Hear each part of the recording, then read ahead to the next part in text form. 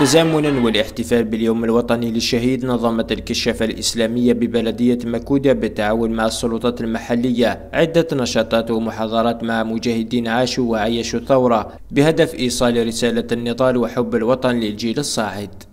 لي سكوت ميزيلمون الجيريان لا سيكسيون دو ماكودا سينا تنصح مليح مليح يقدر يسجل تاعنا كل كودنا يوكل ندنا تجميلت ما راسن الشهداء يغادينا في مرتقي في لسنا فوربي خاصني بليك نوثني خدمن أين لن في لسن نكون يوسي الكومبان سنين تكمل يوم شهيد. سناتني رحم ربي.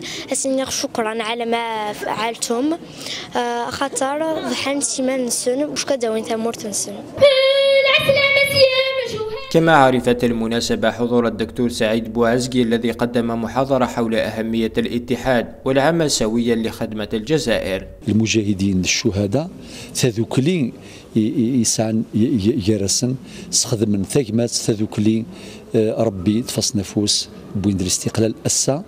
آه، ذا الرسالة اللي نفهم باللي ثمورة الجزائر لمانا جنسية الشهداء إلى قنحرز أكل من لا لمانا الشهداء هذا ويبقى سكان بلدية مكودة عينة من المجتمع الجزائري الذي يخلد هذا اليوم العظيم بكل فخر واعتزاز.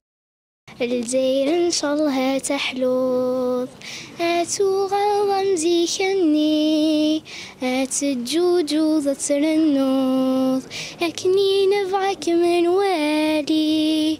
ذي ثمورة يلهن تشفوظ ثروة بيني تتمني.